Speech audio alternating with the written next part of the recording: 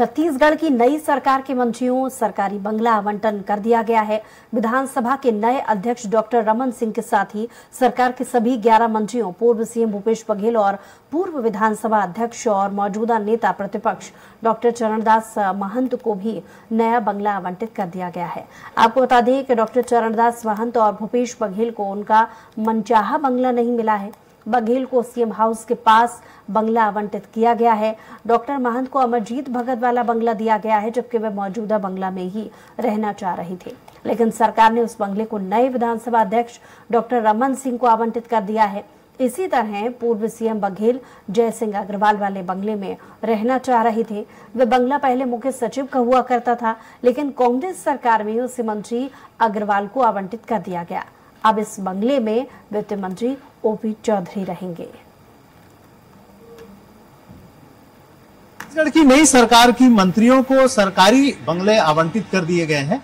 और इसी कड़ी में तमाम जो मंत्री है, उनको, उनकी मनपसंद बंगले को आवंटित किया गया है, जिसमें मुख्य रूप से बात करें तो डॉक्टर रमन सिंह, जो पूर्व मुख्यमंत्री रहे हैं, वर्तमान में विधानसभा अध्यक्ष है, उन्हें वर्तमान स्पीकर चरणदास महंत जहाँ रहते थे, उस बंगले को आवंटित किया गया है।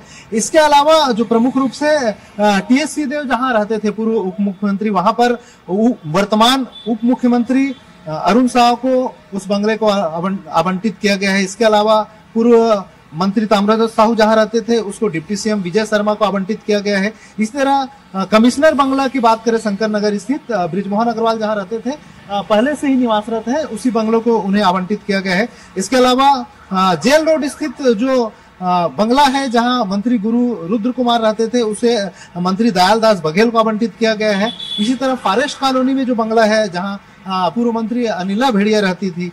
उस बंगले को केदार कश्यप को अलाट किया गया है। साथ ही साथ शंकर नगर की बात करें तो शंकर नगर में जहाँ पर मोहम्मद अकबर रहते थे, उस बंगले को राजस्व मंत्री टंकराम वर्मा को अलाट किया गया है। और जिस बंगले में प्रेम साहसी टेकाम रहते थे उस बंगले को लक्ष्मी राजवाड़े को दिया गया है। इसी तरह जयसिंह अग्रवाल जिस बंगले में रहते थे, पूर्व मंत्री, उसे ओपी चौधरी को अलाट किया गया है। हालाँकि इस बंगले की साइज़ थोड़ी बड़ी है तो उसको लेकर पूर्व मुख्यमंत्री भूपेश बघेल उस बंगले को चाह रहे थे, उनका पसंद वही था, लेकिन उन्हें अलाट नहीं किया गया है। उनके जगह पर ओपी चौधरी जो वित्त मंत्री हैं, उन्हें यह बंगला अलाट कर दिया गया है। इसी तरह रविंद्र चौबे जहाँ रहते थे रविंद्र चौबे जिस बंगले में रहते थे, उसे वाणिज्य और उद्योग श्रम मंत्री लखनलाल देवांगन को अलाट कर दिया गया है।